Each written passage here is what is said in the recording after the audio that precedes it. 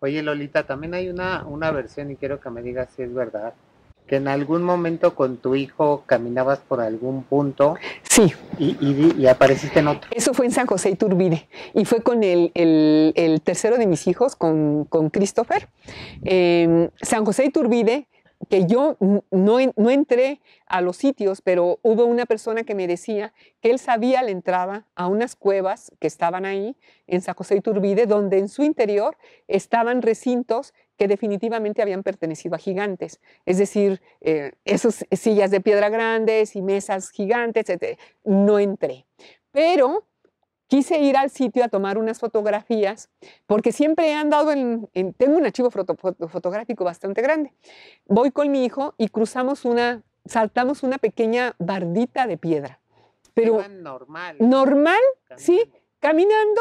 Bueno, mi, mi, haz de cuenta como está aquí esta bardita, mi esposo se estaciona eh, con el auto ahí, brincamos la bardita, caminamos como 10 metros, ¿sí? Para alcanzar a ver con plenitud del paisaje, yo empecé a tomar mis fotos del, entorno. le digo, hijo, ya con esto es suficiente. Volteamos, pero te digo, habíamos caminado unos cuantos metros y no estaba la barda. No estaba la barda. Yo lo tranquilicé a él. ¿Crees como que te equivocas? Evidentemente, evidentemente me di cuenta que no caminamos, no me cheque el número con el boleto. Es decir, la, la, la, la barda estaba ahí, pero no le voy a decir a este muchacho porque se me va a asustar. Y le digo, hijo, yo creo que sin querer caminamos más de lo, de lo que debíamos. dije, pero mira, el pueblo está abajo. Como quiera que sea, vamos a llegar al pueblo. vamos a caminar hacia abajo y forzosamente tenemos que, y ya estando ahí, vemos cómo volvemos a buscar a Andrés. Bueno, caminamos. ¿Y tu hijo qué te contestó? Estaba todavía chiquillo, a haber tenido como 12 años. ¿Estás segura? Sí, hijo, sí, sí estoy segura. Bueno, yo, pero yo en, el, en, mi corazón decía, no, este, él, también vio lo mismo que yo, que no caminamos nada y que no está la barda ahí. Entonces sí, ahí vivimos una experiencia de traslación. Es decir, nos movieron de, de un espacio a otro, aunque fuese... puerta. Sí, ahí mismo ahí mismo, porque estábamos en San José Iturbide y de ahí mismo nos movieron nada más a otra misma zona, de esa misma loma, sí, pero que sí eran muchos metros distantes de... De hecho, bajamos y después ya volvimos a encontrar la barda, la cruzamos y tuvimos que subir para volver a, ubicar a donde estaba estacionado el carro de, de mi marido. O sea, no estaba congruente, porque nosotros no, ay, bueno, estuvo raro. Muy extraño. ¿Esas cosas te dan miedo, Lolita? Em, fíjate que, curiosamente, como que siempre tengo valor. Eh, primero siento que no, algo en mi corazón siempre me dice no estás corriendo peligro. No hay algo malo que vaya a suceder, pero es una experiencia que queremos que vivas. Y esa confianza de que no va a ocurrir nada malo, logro transmitírsela incluso a otras personas cuando ha sucedido que estamos en compañía de alguien más. O sea, de no va a pasar nada malo, hay que estar atentos nada más a, a qué estamos sintiendo, algo nos, quieren, nos, nos quiere manifestar el Padre Madre Dador de la vida, porque nada es casual. Entonces, pues fluyamos, pero no en el sentido miedo. ¿Y te has enfrentado a lo malo? Eh, fíjate que no. Es decir, de hecho, en Puerto Rico que viví, he vivido allá, de hecho, allí en Puerto Rico fue un lugar que se llama San Sebastián también y que es un lugar que le llamaba la ciudad de la luz. Y ahí vivía la reverenda Rosy. Y la reverenda Rosy ahí eh, decía estar en contacto también con los maestros ascendidos eh, y hacía ceremonias de curación masiva. El lugar es muy especial, muy especial. Me invitan a conocer el sitio, por supuesto ya había muerto la, la reverenda, con las personas que estaban en, contacto, me habían hablado de Felipe, el, que se había quedado como guardián, así como algo, uh, bueno, una persona prodigiosa, la, imagínate, la reverenda lo admitió y vio en él cualidades. Vamos con mi amiga, mi amiga Silvia, una persona muy querida por mí, llegamos al sitio y cuando él sale a abrir la puerta, lo que yo veo en su campo áurico es un monstruo, no un ser de luz. Y yo digo, pero recorcholis, me hago para atrás, ¿no? O sea, íbamos con más personas, digo yo, pues que los, que los demás hablen con él, pero yo de lejitos, ¿sí? Y, y como todo el mundo quería preguntarle cosas, pues que los demás le preguntaran. Y entonces yo oigo la voz de la reverenda y que me dice, tiene razón en lo que tú estás viendo. y te voy a revelar cosas del sitio. Total que yo me hago para un ladito, cierro los ojos y entonces me veo, veo que ese sitio había, había sido parte de la Atlántida. ¿sí? Es una punta de una montaña, que Puerto Rico es una montaña inmensa, de hecho es una de las fosas más grandes del mundo en cuanto a profundidad del agua, porque la montaña es inmensa. Y veo que entro a, un sitio eh, hermosísimo, ¿sí? que estaba una cavidad en, el interior de la montaña, con un, con un, eh, un, lugar redondo, eh, con una silla nada más en el centro, hecha de zafiros. Y me dicen, siéntate en esa silla para que puedas ver. Y me siento y empiezo a ver la historia del sitio. Y veo que a ese, ese sitio estaba dedicado también eh, a las vestales a las guardianas del fuego sagrado. Y que, bueno, en fin, eh, es muy larga todo lo que vi, pero que llegan unos hombres y destruyen el sitio y, matan a las, a las eh, como especie de monjas, para que me entiendan, que eran las que habitaban en el sitio. Y que nos meten a tres que éramos jovencitas por una especie de túnel que desembocaba hacia un río y nos salvamos de morir. ¿Sí? O sea, y que yo había sido una de ellas. Aquí están escuchando un montón de cosas bien fuera de lo común. Entonces, bueno, nuevamente salgo de aquella experiencia, que es muy largo referir todo lo que vi, y estaba Felipe hablando con el grupo eh, como a, a, cinco metros de mí, y yo calladita, apartadita, muy discreta, este, pero metida en mí, y volteé a él y me dice, tú, pero así, sabes. O sea, como, cuidado con lo que vas a decir, porque vio que yo vi. Entonces, cuando va, sí, cuando vamos de regreso, mi amiga, la que me había llevado, pues hablándome maravillas de Felipe, este, en fin, y yo, ay, Dios mío, pues no concuerda lo que ella siente con lo que yo vi. Eh, llegamos a la casa y yo ya acostumbro a dormirme temprano. Eh, y entonces ya me iba a acostar yo muy relajada cuando de repente una voz me dice, despierta y pon tus círculos de protección en tu persona y en esta casa. Entonces me envuelvo en mis círculos de protección, eh, me envuelvo en, la casa y veo que venían tres hombres, eh, entre ellos Felipe y, bueno, y otros dos, volando y que dice, le hizo una, ya la alertaron y se protegió. O sea, venían a atacarme. y entonces dije, no, mañana sí le tengo que decir a mi amiguita que pues posiblemente yo no tenga la razón, porque ¿quién tiene la verdad total? Nadie. Yo soy muy cuidadosa verdaderamente de decir de alguien algo, pero dije, esto ya está como que pasándose de tueste y yo voy a darle mi punto de vista y que ella siga su criterio. Y total, ya le conté y me, llama a otra persona que sabía muy bien la historia del sitio, de, de la ciudad de la luz, y me dice, es que lo que ella vio es totalmente cierto.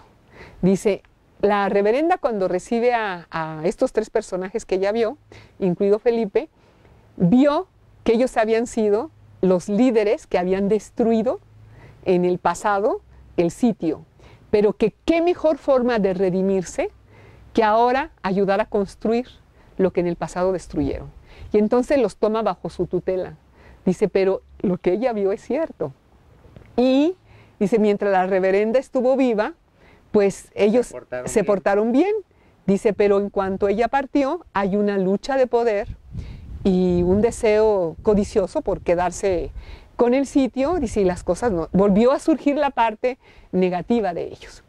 Total que después, para no hacer el cuento largo, eh, me dice mi amiga, él ya cambió y me dice que quiere hablar contigo la siguiente vez que vengas a Puerto Rico regreso a Puerto Rico y voy y efectivamente su aura estaba totalmente distinta, era otro. O sea, su parte noble había vuelto a aflorar. Y entonces él era una persona soberbia y me dice, ayúdame a que este sitio recupere su esplendor. Límpialo. Entonces le dije, sí, yo te voy a ayudar de la manera que sé. Fui, prendí mi saumador de manera ritual, hice mi invocación a las direcciones del universo y empezamos a recorrer, el sitio está dividido como en un triángulo. El sitio es muy espectacular, ¿eh? Eh, es un triángulo dedicado cada área a diferente tipo de, actividades. Eh, fuimos recorriéndolo todo y cuando llegamos a la última parte, yo empiezo a decir que retornen los maestros ascendidos y, presento mi ofrenda de copal y, para un rumbo y otro. Entonces yo escucho que me dicen, sí, retornamos. Y yo me pongo feliz, ¿no? Y, y volteo a verlo, pero él estaba como en trance. Este, eh, y, pero digo, ya, me están diciendo que sí, que retornan. Y me dicen, sí retornamos a San Sebastián de Bernal, a tu espacio. Dice, vamos contigo al lugar que a ti se te dé instrucción para tener el servicio de la luz. Dice, lo primero que tienes que hacer cuando llegues allá es volver a prender tu saumador y volver a hacer la, presentación de tu ofrenda y nosotros vamos a estar ubicados en una ciudad etérica, ¿sí? Sobre Yolocali. Total que yo así lo hice. De esto yo no había hablado en años, porque eso hace muchos años a nadie. Pero el año pasado me llaman eh, y me dijo, oye, este, fíjate que queremos ir a Bernal. Eh, y queremos ir a visitar tu espacio, somos 20 personas, y queremos que nos expliques, como ustedes ahorita, varias cosas sobre el sitio. Entonces yo la recibo, eh, empiezo a pasarles unas diapositivas, este, hablamos, eh, pero yo pensé que más bien estaban dedicadas al chamanismo, no a la parte metafísica. Realmente no sabía bien a qué estaban dedicadas.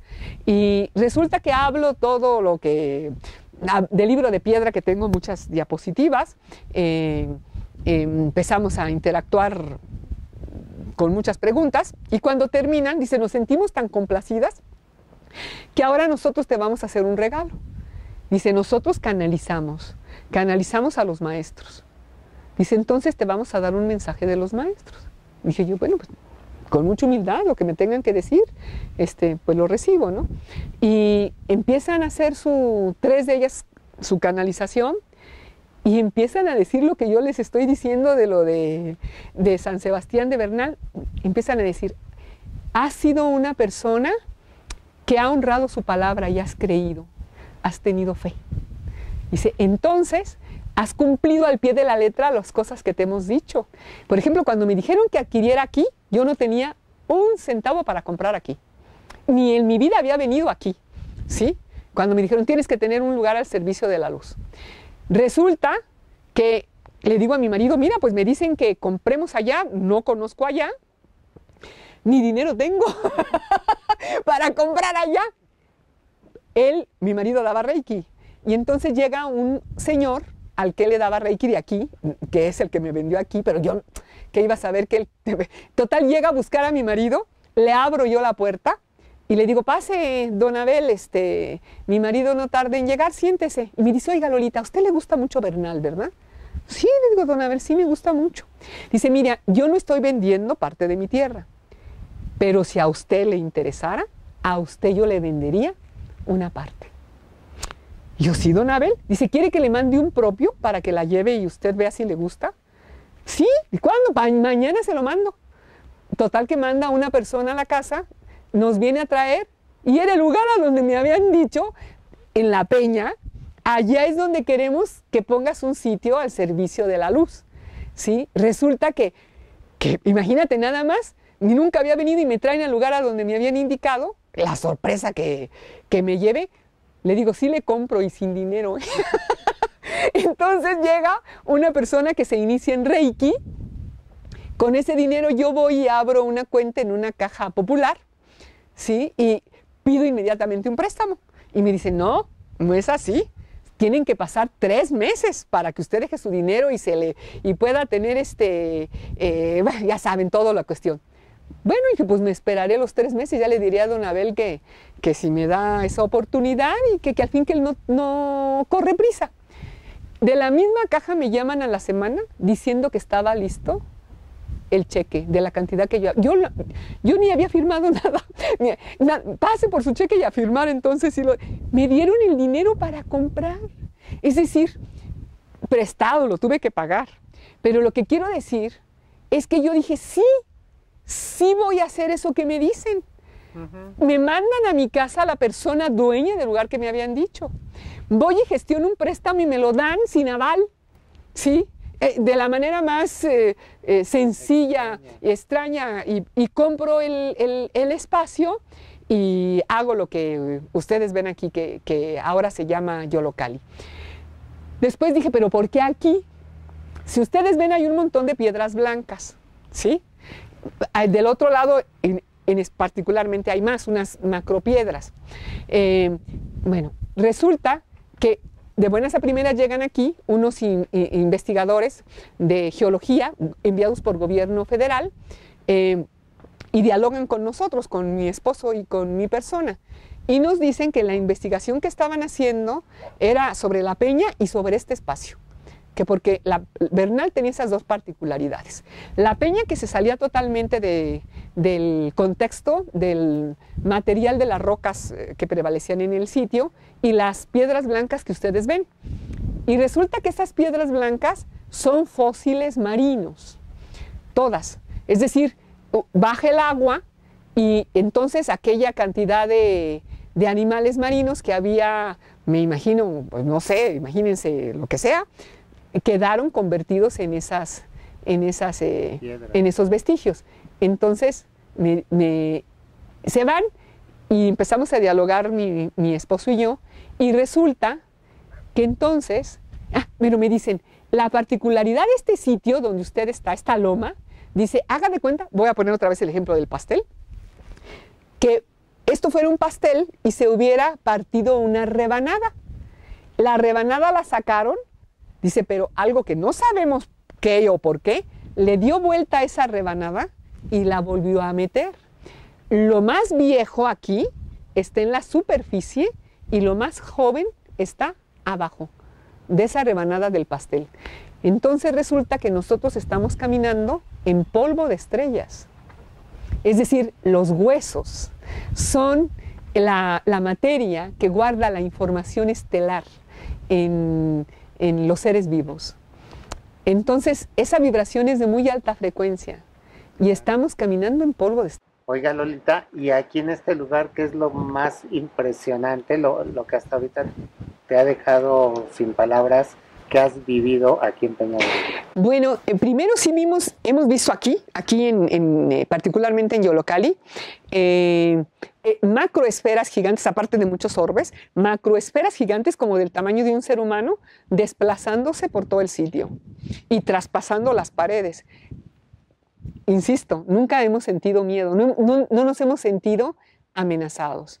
La percepción de aromas, de flores, eh, que los hemos tenido em, en, todo el sitio en una ocasión y en el interior del temazcal muchas. ¿sí? Así es que hay algo que se manifiesta de pronto que da esa particularidad. La percepción de naves que sentimos, en especial mi hijo más chico y mi persona, eh, esa sensación de sala ahorita para ver, y salimos y hemos visto naves a las que les hemos tomado fotos, tenemos archivo, archivo fotográfico al respecto, eh, y muchas veces sonidos, pero sonidos armónicos, que no sabemos de dónde provienen. Es decir, una serie de sonidos dulces, muy dulces, como de, como de campanas, eh, como de ciertos metales, pero que no puedes tú ubicar de dónde está siendo emitido ese sonido tan, tan particular, tan particular. Evidentemente el sitio te permite entrar en estados de conciencia no ordinaria de manera muy fácil. Es decir, el ingreso a los estados alfa, teta y delta es muy sencillo. De hecho, en realidad la peña es un lugar de ensueño. Por eso tiene también el símbolo del armadillo, que yo les decía se ve en, la punta como una escultura. El armadillo es de los pocos animales eh, que entran a la fase REM, de sueño ocular rápido. Em, ya esto está estudiado mm, de manera científica. Eh, el sitio nos está indicando que este es un sitio para ensoñar, para trabajarlo con lo que se llama el doble de ensueño, que es un tema muy importante, muy importante en la sabiduría de los ancestros. Es, era el tema que más enfatizaban y uno de los temas más importantes de, que descubrió en, en, el, eh, en el 2000, ah, en el 2000, ¿eh? eh bueno, a finales del siglo pasado, para no entrar en, detalles, 1997-98, ya en Pierre Gardien, eh, un físico francés, eh, les invito a que vean todo lo que, lo que él tiene sobre el doble de ensueño, que es lo mismo que decían nuestros ancestros toltecas, pero nosotros le llamábamos nahual, ¿sí? El, es eh, el trabajo con el doble de ensueño o nuestro nahual. Ahora, científicamente, él hace de su, descubrimiento, Jean-Pierre, en el, en el 1997-98 y en el 2000 y pico, 2006, por ahí, le, incluso le dan un premio Nobel por su descubrimiento. Así es que la ciencia está diciendo que lo que él dice de la presencia del doble, ¿sí? Eh, es verdad, es verdad. Eh, y la, la peña es un lugar para trabajar con el nahual, con el doble de ensueño. Oye Lolita, para tus cursos, tus libros, para todo lo que haces, ¿dónde te puede encontrar la gente? Bueno, eh, yo soy escritor independiente y me pueden localizar en mi correo electrónico lolita.vargas gmail.com o en el 442 186 8221. Tengo dos sitios, es decir, donde doy mis cursos este que se llama Yolocali, eh, el arte de ser tolteca, en San Sebastián de Bernal, y otro que tengo en Querétaro, que es el más antiguo, que se llama Gayatri y que está ubicado en Cerro de las Torres 11, en Colinas del Cimatario. Ok, ¿algo que nos quieras agregar, Lolita? Bueno, pues que en realidad este, este tema pareciera que eh, es muy sencillo, pero sí convoca. De hecho, estoy invitada a muchas partes del mundo eh, para ir a hablar sobre, sobre esto que estamos ahora conversando. En octubre voy a estar tres semanas en Chile y cuatro días en la isla de Pascua. El universo me está llevando a lo que yo vi hace muchos años atrás. Ok, Lolita. Pues muchas gracias y estamos en contacto contigo y también a través de tus redes sociales. Claro que sí. Muchísimas Perfecto. gracias, Lolita. A sus órdenes. gracias.